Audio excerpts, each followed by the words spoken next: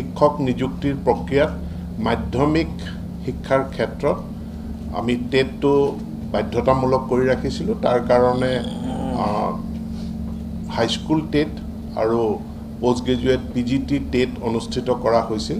আজি কেবিনেটে সিদ্ধান্ত গ্ৰহণ কৰিছে যে এতিয়াৰে পৰা এই টেট পৰীক্ষাটো যিটো কোৱালিফায়িং এটা এক্সামিনেশ্যন হয় এই কোৱালিফায়িং টেট পৰীক্ষা অনুষ্ঠিত নহয়।